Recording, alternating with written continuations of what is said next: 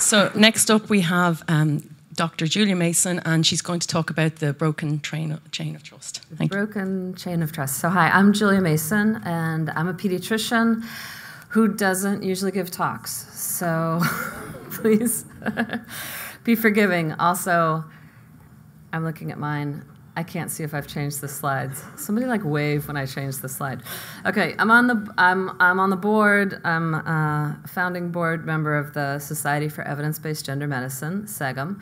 I completed my pediatric training at Children's Hospital Los Angeles in 1997. SEGM is an international group of doctors, researchers, and academics. It's changed, right? we came together in 2019. It hasn't changed. Does that change it? Does that change it? Does. Which one of these buttons? Or I could just do this and somebody else could change it. oh my God. Well, you know, it's here. I could change it. Yeah, okay. All right. so I'll follow you. Okay. Come on this one, yeah. Yay! 2019, in response to what looked like the ideological capture of our medical societies and academic leadership, we're concerned that currently the response, the medical response to a gender dysphoric child in many places is life altering medicalization with puberty blockers, hormones, and surgeries. We're working primarily in the academic sphere, but given the difficulties we've had getting published, we're also working to share information directly with physicians and the public. There's a well recognized lack of solid medical research on how best to care for children with gender dysphoria. No one has conducted a controlled clinical trial. All we have is low quality evidence that normally would not be appropriate for guiding medical decision making, especially when the interventions are irreversible and carry a heavy medical burden. But for some reason, in this area of pediatric medicine, not only is poor evidence allowed, it's heavily promoted by major medical organizations. So, I want to talk to you about the broken chain of trust in medicine. When you study medicine, it quickly becomes obvious that the amount of information needed to successfully treat patients is massive. It's beyond comprehension. No one person can grasp it all. So, you have to trust that someone has done the research. A group of thoughtful, rational people have taken the time to determine what is the best course of action. As a student, you don't have time to read the original papers that back up the treatment plan you're being taught. Dr. Stephen Levine talked about this concept in his conversation with Stella and Sasha in their podcast. He said before he started medical school, he went to a pre medical conference and a professor held up a massive book and he said, This is the textbook of medicine. 90% of it is wrong, but I can't tell you which 10% will still be the truth in 20 years. Someone told me that too in the beginning of medicine. Facts and understanding are changeable events. Dr. Levine then described young doctors and psychologists confidently telling him exactly how gender dysphoria is to be treated. They were confident because this is what they were taught in medical school or grad school. They were operating based on 100% trust in what they had been told. So I had the good fortune to start medical school on an MSTP fellowship, and that stands for Medical Scientist Training Program. My plan was to get an MD and a PhD in nutrition and then teach nutrition to medical students. And that um, didn't happen, which is a whole other story. But I did get to look at medicine a little, difficult, a little differently due to having breaks in my medical education during which I was being a graduate student instead of a medical student. I spent time in the part of the system that generates the data and eventually the treatment plans. I wasn't just force fed a thousand plans and told to memorize them. So, if you are trying to decide whether a treatment plan is supported by evidence, you need to evaluate the evidence. And this is the thing that working pediatricians, for example, don't have the time or the inclination to do. The lowest level of evidence, the lowest quality of evidence is expert opinion.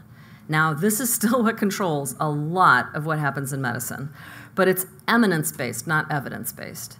The middle levels consist of case series and reports, then case controlled studies, then cohort studies, then randomized controlled trials.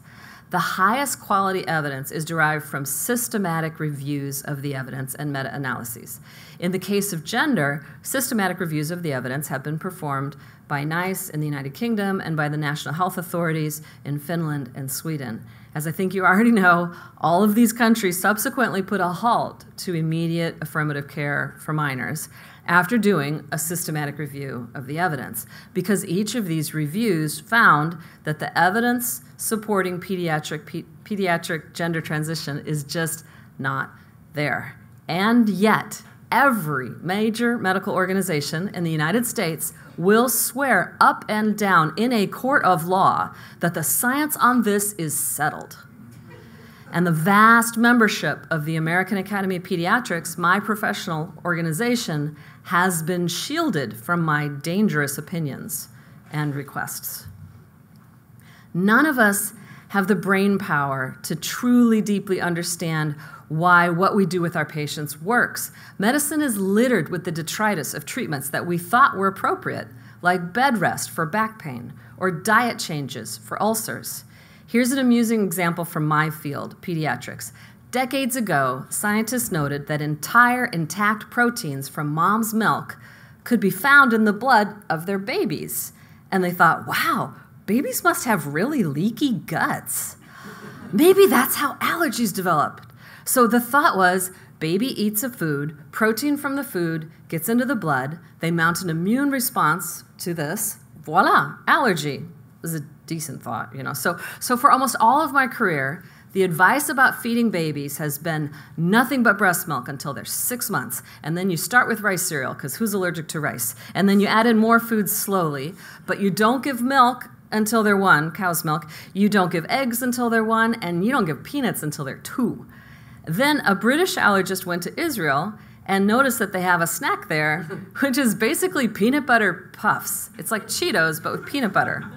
It is, it is delicious, and it's called Bamba. People give it to babies routinely. And as it happens, peanut allergies are far less common in Israel than in the United Kingdom.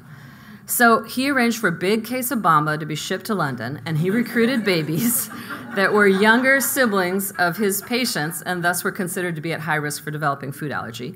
And he divided them into two matching groups. And one got the usual advice about feeding babies, and the other group were told, We want you to give your baby three grams of peanut every, three times a week, and this is how many puffs they need to eat, and here's a bunch of puffs. And the babies deliberately given peanut had a lower rate of peanut allergy. It wasn't zero, but it was less. And that blew up all the rules about feeding babies. I have very few rules now about feeding babies. So, how does this apply to pediatric gender medicine? Well, the basis for the practice was laid out in what we often call the Dutch studies. And in 2014, Dutch clinicians published a paper on their new method for treating gender dysphoria in young people, in which adolescents were medically transitioned to appear as the opposite sex. Their published group was comprised of the first 70 completers, and then you might start thinking about some bias there, but it gets worse, of which outcomes were reported for the first 55 that basically survived to the end. And for some measures, they reported on as few as 32, such as for the two point scale decrease from minimally depressed to minimally depressed. Their measurement of gender dysphoria with a sex specific questionnaire was completed by 33 people. And then, as you've already heard, they flipped the scale at the end of the study and they started asking the natal males about their periods and the natal females about their erections. And I've always said I could take a gender dysphoric kid give them a fetching hat, and tell them that it totally makes them look like the opposite sex, and then administer the opposite sex Utrecht gender dysphoria scale, and I would get significant results. The 15 non completers included three people who developed morbidity, which prevented them from continuing, two people who refused to take part, one person who medically detransitioned, and one person who died from post surgical sepsis as a direct result of their transition. And keep in mind that these cases were excluded from consideration when the Dutch reported their modest improvements in this uncontrolled and unscientific study of major medical interventions. To this day, the Dutch study represents the strongest clinical evidence for the supposed benefits of adolescent medical transition. More recently, we've been told that puberty blockers prevent suicide in young people with gender dysphoria. The paper promoting this idea is based on a poor quality convenience sample survey, a mostly online survey that offered cash prizes for participation. this was a political survey created by the National Center for Transgender Equality. It was not designed for medical research. It was a lobbying, a lobbying document. Participants were recruited through transgender advocacy organizations or social media and were asked to promote the survey among their friends. This recruiting method yielded a large but highly biased sample. The experiences of detransitioners were not included. Transitioned people who were not politically active were also underrepresented in, in the survey. There's good evidence that the 2015 USTS is not representative of the US population who identify as transgender. The quality of the data is also highly suspect. For example, 73% of the respondents who reported taking puberty blockers said they started them after age 18, which seems unlikely, as most young people have finished puberty by that age. Finally, this data set, this snapshot in time, makes it impossible to determine causation between linked factors. We can't decide if puberty blockers prevent suicide from this study. Despite this, the idea that puberty blockers save lives has become the dominant narrative in both the popular press and medical journals. Multiple rebuttals to this paper were submitted pointing out flaws, but the journal, which is the official journal of the American Academy of Pediatrics, refused to correct the paper or even acknowledge the letters by publishing them. This is the usual process in science when there's open debate. The same survey has been used by young Jack Turban for at least six other papers on topics ranging from trying to prove that psychotherapy is harmful to asserting that surgery is extremely helpful. None of the rebuttals to any of these papers have been published by these journals. Stifling debate breaks the chain of trust. Busy doctors don't have time to evaluate the quality of the research. We trust the journals to vet the research they're publishing and to platform debate. For me, the final straw was when this paper in the journal Pediatrics was selected as their number one paper of the year. 2020. I wrote to Dr. Lewis First, the editor, and his first response was that this paper was selected because it got the most clicks. And then he told me that I should submit a pediatrics perspective sharing my concerns. Let me tell you what happened when I followed his advice. I wrote a paper called Far from Settled Science, a call for caution in the care for gender dysphoric youth, based on my experience with multiple transitioning teenagers none of whom were thriving. It was a frontline report, something that pediatrics has a tradition of publishing under the category of pediatrics perspectives. I expressed concern about what's happening with pediatric medical transition and talked about the lack of evidence supporting it. Per the usual process, it was sent out for peer review. I expected pushback, but I didn't expect what I got. I had all these points about what worried me, and then I referenced the developmental issue of socially transitioning young children by saying, children are likely to believe that the doctors can actually change their sex when they grow up. We can't, and it's cruel to imply that we can. The reviewers had a big issue with this statement. Apparently, the first reviewer thinks that we do change the sex of our patients. And the second one was worried that my assertion would offend children who read medical journals.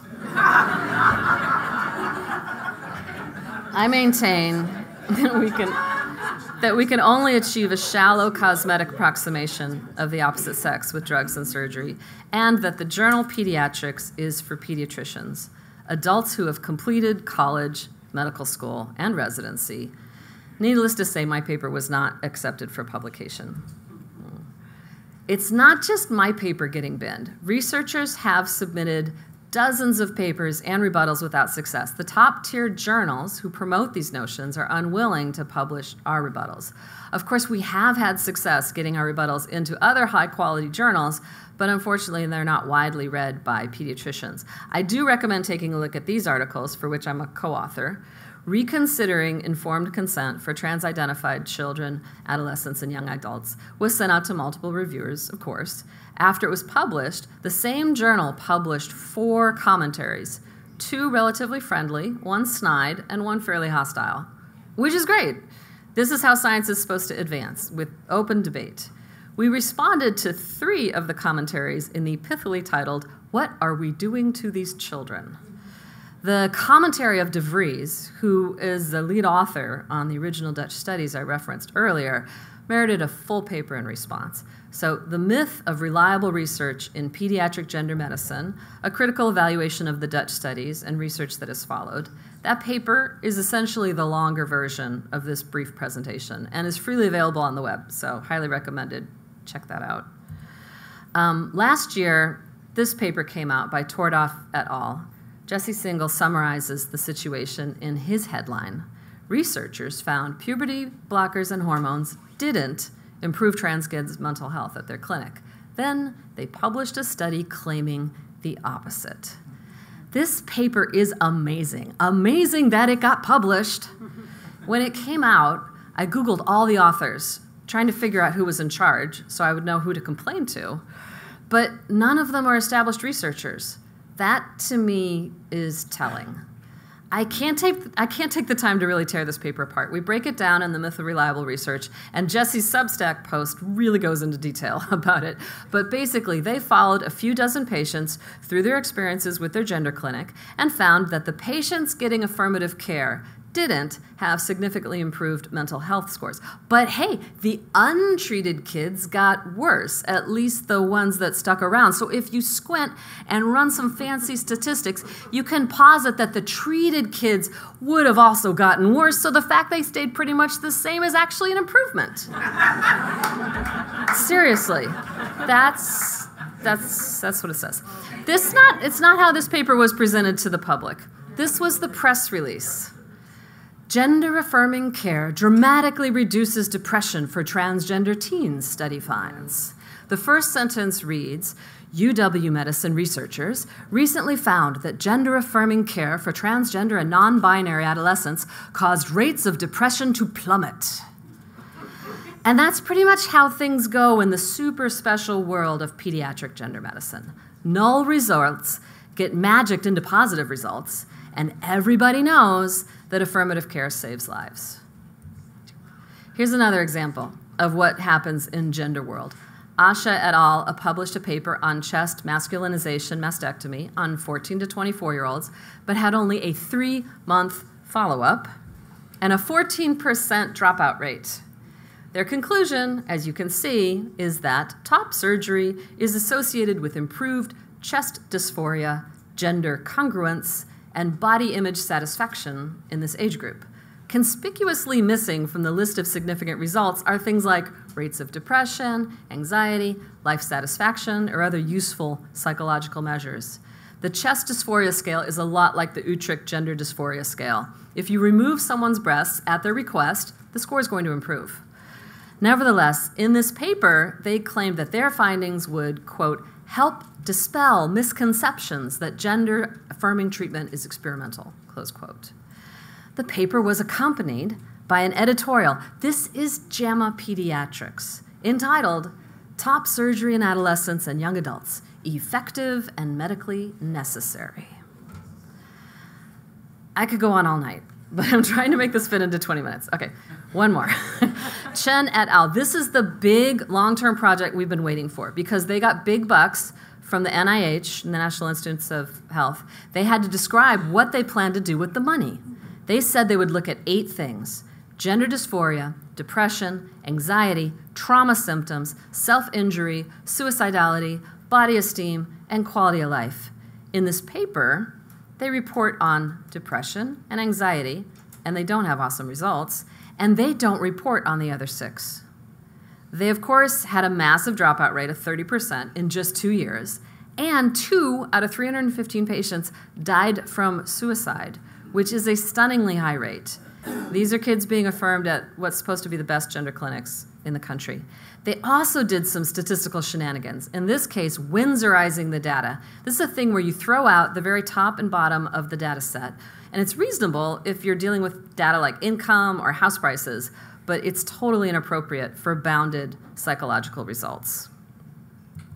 So we need to be following the evidence, not self declared experts. We are engaging in a massive, uncontrolled medical experiment on children. You know, it's not even an experiment because most clinics aren't collecting any sort of follow up data. We don't know how, what, we don't know why so many young people are identifying as trans, and we know even less about how best to care for these children. The chain of trust has been broken in the field of pediatric gender transition. Everybody knows that gender affirming care is life saving care, except that nobody has actually shown this to be true. SEGM is one of a few organizations fighting for transparency in gender medicine and restore the integrity of the scientific process in the field of gender medicine. Unfortunately, our well reasoned attempts are frequently met with accusations of transphobia.